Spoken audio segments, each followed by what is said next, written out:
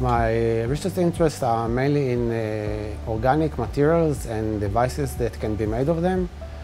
That divides into several areas. Half of it is towards energy, photovoltaics application, and the other is more towards electronics like transistors and things alike. The Technion PV Lab was established as a joint venture by the Russell Berrie Nanotechnology Institute and the Nancy and Stephen Grand Technion Energy Program. What we had in mind is a facility that would be interdisciplinary and accessible to as many as possible and in that we include not only Technion uh, faculty but also the industry and uh, some of the other universities in Israel.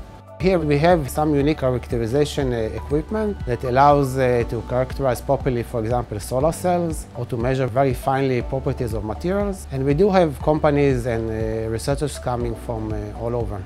We have a new solar panel installation on the roof of uh, this building. We went ahead with this project because we had two main motivations. The first one is we want to save energy, to be green, it is very important also for the education of uh, the students. So we are not only building solar panels, but we made sure to have several different technologies of solar panels.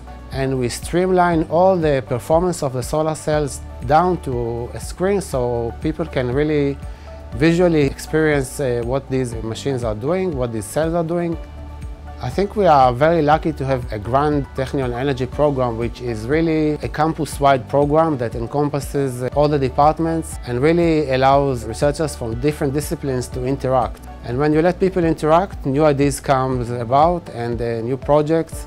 And we have seen some beautiful uh, outcomes from around the campus. And I think this uh, bringing together, which may seem trivial, is not so trivial in a university which is spread across so many different uh, disciplines and the GTEP is really helping this happen. The actual uh, challenge that is behind the whole uh, program is the fact that the energy consumption globally is increasing very rapidly. All the common ways of producing energy are not only reducing, but they are also generating emissions which are really detrimental to our environment. All the global warming is partly attributed to that. And this is really the goal of GTEP, to bring interdisciplinary people together and try to tackle this problem of producing new ways of energy and uh, maximizing uh, what we have.